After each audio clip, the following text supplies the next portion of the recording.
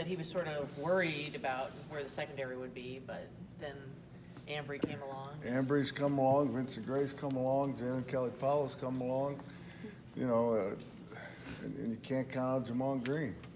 So we, we've got some, the guys have been working extremely hard, have been doing really well. And then, you know, we've got DJ coming this summer, so it'll be interesting. What's different about Vincent this year from a- as Oh, he's just comfortable. He's very comfortable. He's a very naturally talented, gifted guy. So he knows the system now, and now he's just going out there and playing. He's not thinking. It's a, it's really a beautiful thing. Is Has the any- offense Go ahead. even more of a challenge for your guys? Yeah, the, yeah, it's great for us, really. The RPO deal, we, we love it. You know, you just got to be very disciplined in the back end. The linebackers got to be disciplined, and uh, I think it's it's going to help us tremendously moving forward for sure. Has anything surprised you about the group so far? Uh, well, I guess you could say I'm pleasantly happy that, that Vincent has come along, that, that uh, Jalen Kelly Powell's come along, and that, uh, you know, Ambry is just, sky's the limit with that guy. He's really had a great spring. So happy for those guys and certainly happy for us as a defense that they're, they're playing well. Where has Ambry made the most improvement from this time last year? Well, I think in his technique, in his patience at the line of scrimmage, and the fact that he knows that he has an opportunity to start, he's really embraced that role, and he is, he, and he's becoming a leader. He's becoming a leader in our room. Uh, he's been great all, all around. Does that sometimes hold someone back when they know that, you know, it's going to be tough to break into that group play last year? Ambry clearly wasn't going to be a, a starter. Right, right. Well, now, now I see. That's the great thing about it. They, they see that there's light. They see that there's an opportunity. They see that there's competition for the other spots that are open. So, I think it's helped everybody along the way get better. Definitely. A little more understanding about Lavert this spring than you were last. spring? Oh yeah, shoot, man, he's great. He's been awesome. He has been excellent in the classroom. A real leader in there for us. You know, he's on the board quite a bit. He's vocal when guys aren't doing the right things in the room. So yeah, he's he's locked in, ready to go. Is Haw- Hawkins still the guy at nickel, or and how are you handling? Yeah, B Hawk's there. Nick, yeah, he'll just drop right down in there, which is fine because he's he's handled it very well. He has added great value to our, our back end. He's he's made us better. He's he's he's having a great spring. Brad, Brad Hawkins. Mike, is uh, Jalen Kelly Policy corner now, or are you guys? Yeah, he's a just corner. He's a corner and working a nickel too. Okay, him and cool. Brad, yeah. And uh, he's really slowed things down in his mind, and he's having a great spring. He's uh, he's really competing. He's making great plays on the football, and uh, enjoy having him in the room for sure. I think you mentioned Vincent Gray during bowl prep. When did you first start seeing strides from him last year? Well, I- I really didn't, to be very honest. Um, you just watch him move. Physically, he he has he's a very gifted guy, and you just watch his movements. You're like, wow! And now he's putting it all together with his play. It's pretty impressive. I mean, I mean, he's the sky's the limit for that kid. You didn't mention uh, Myles Sims. What's he got to do to get in there? Yeah, Myles just he's just got to be more consistent. You know, he put together a couple nice practices, and uh, and he just kind of you know he just just got to stay and get better every day. He's got the skill set. He has it. He's just got to get consistent. What's been your early impressions of Jalen Perry? Jalen Young, you know, and I keep telling myself, hitting myself on the head because I don't want to. He's a, he should be at the prom, you know. And he's here with us now, and he's he's gifted. He's got the skill set, but he is he's still in high school, and and you know he he's got a little ways to go catching up, understanding the speed of the game, the technique that, that, that we use. You know, he's a gifted athlete in high school. You, know, you can just go out and cover a guy most of the time. And uh, here it's not that way. And he's just got to learn our way of, of, of man on man. What's the advantage of having, of having a guy like that enroll early instead of coming in the fall? Well, he's getting all this under his belt now. So he'll walk in in the fall. Um, he won't have to go through the bridge process of school. And, you know, hopefully with, with his mind, he's a very bright kid, he'll retain all this and just be able to walk in and have that under his belt and feel very comfortable, felt, feel a little more comfortable than he did walking in here raw, you know, green as hell. Now, at least he's got this, the system under his belt and, and, and know what he's getting into in the fall. What, what's that conversation like when a guy's deciding whether to enroll early or start in the fall? Well, you know, being a father of two, two Division One players, a father doesn't want their father and mother don't want them to go, but as a coach, it's it's a beautiful thing. It's a valuable thing because you know it's it's they walk into things. They're just they're not running into it. So they're walking into school, they're walking into weightlifting, Uh, winter conditioning, and then they're gonna get into spring ball. So it's not piled on them all at once. So it's a nice progression. Whereas when you, these guys are coming in the, in the fall, you know, it's it's difficult. School's right out of the gate, and, and now you're trying to compete for a job, and it's not an easy task. So that that would be the conversation. And I get it as a parent, and I get it as a as a coach. Ambry says he's the fastest guy on the team, maybe the fastest. He thinks he's the fastest guy in the NCAA. Yes, he does. I was getting to that, yeah.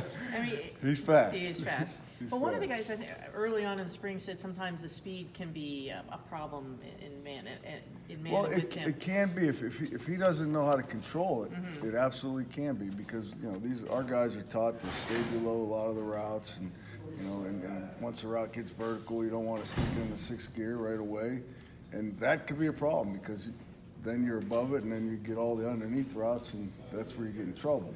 So yeah, that could be a problem, but for him, it's not because he understands it. So it's helpful. Has he kind of learned some of more like control and that sort of stuff this spring?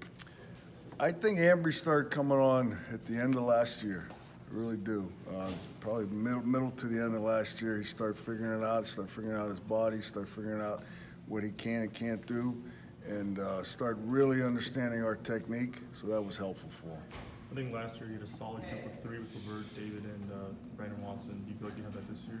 Absolutely. I, I think with Vert, um, Vincent Gray, and Ambry, I think very solid. And then you add to the mix JKP, Jalen Kelly Powell. Uh, you feel pretty good about things. You really do.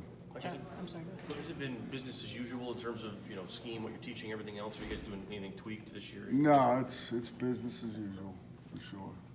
Josh Gattis pla- played defensive back in college and said that that's helped shape how he, you know, constructs an offense and, and knows how to attack Sure. defense. Do you see that in the way this offense is running? Yeah, well, RPOs are meant to do hmm. that. You know, they're to put you in a run-pass conflict, and then if you're not disciplined, like we talked about earlier, that absolutely can't happen. So he's got some good schemes, and he's got some really good quarterback runs against our man stuff. Where, where we're really the quarterback isn't accounted for. You got to have it accounted by our gap discipline. So he's got some nice, nice schemes in there. He really does. He's doing a great job. Good guy too. Did Lavert talk to you at all before he came back, decided to come back? And Did you have discussions with him? And what was your reaction when he decided? Well, I was very happy, but no, we Okay. did not have a discussion. We didn't, we didn't, but we were all very ex- excited he was coming back. Sure. Good move for him. What are you expecting from him in his final season? I think he's just, I think he's gonna be lights out. I think he's gonna pick up where he left off. I, I I really do. Um, I think he sees what his future can be, and he sees what he can do to help this team, uh, win a Big Ten championship. So he's, he's all in. He's, he's all about the team. It's been great. A lot of growth from him in the last two and a half years, would you say? Oh, Overall. tremendous growth. Yep, big time. Don came in here, I'm sure you read the comments that those last two games, particularly Ohio State, were pretty devastating for him.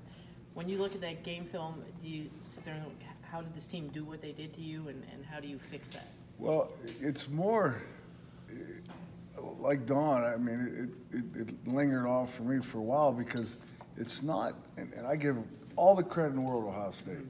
I, but what we didn't do, what we should have done on things we work on every single day of the week that we didn't do, that we didn't execute, and that's the thing that, that, that stuck in my craw, is we didn't execute. And if we would execute it, a completion wouldn't have been a touchdown, it would have been a completion tackle, completion tackle, you know, so those were the very frustrating things for, for me with the execution on those couple of plays that, turned into big plays for Ohio State. So you felt like your, your game plan was equipped Oh, handle abs, one hundred percent, absolutely equipped, but just didn't execute it. Mm-hmm. Why don't you think they executed? I have no idea. Uh, If I knew that, they would have executed, so I wish I knew. A lot of the criticism coming out of that game has had a pretty sizable faction of people calling to go to more zone, but why is man still kind of the way the?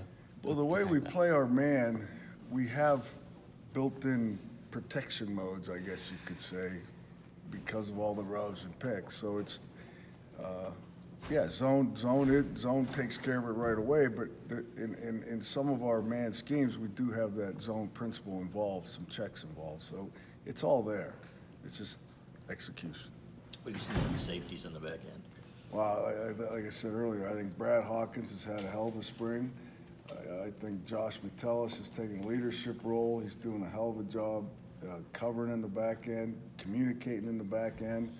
I think J'Marick Woods is going to have some, some opportunities for some jobs out there. Tough kid. He's, he's getting a real good feel of defense. So those guys have come along really well. Which receivers gave your group the toughest time in spring? Well, uh, you know, unfortunately, th- they're a little nicked up, but, you know, Mikey, Mikey, little Mikey Sainristil is, uh, he's the guy. He's, he's had a hell of a spring. He's fun to watch. He's fun to cover. He's hard to cover, uh, but uh, he's pretty electric. He's a guy who was a cornerback in high school. Yeah, we're, we're still trying to steal him, but, but, you know, being where we are, uh, with the receivers, uh, he's, he's best there, for sure. Got time for one or two more? You have it? What makes, what makes him so good? Well, f- first of all, he, he- he's very athletic, he's very quick, and he's fast. And when he touches the ball, he's just got this magic. I mean, I'm, I've, I've watched his highlight film from high school, I bet seven, eight times, and it's just fun to watch. You know, defensively, he's a little jitterbug, he's out there, boom, boom, boom, but when he gets the ball in his hand, he just goes, and he finds ways to break tackles, he finds ways to, to gain yards and score touchdowns. So he'll be exciting for us. You've heard some quarterback way back when. Oh, yeah. Way back when. I mean, I would imagine you, you watch the offense. I mean, how, how are these quarterbacks, Shea and Dylan and, and Joe, adapting to this? I, I think pretty good. I really do. I think they all got a pretty good feel for it. You Does know, Shea seem to, Shea's been great.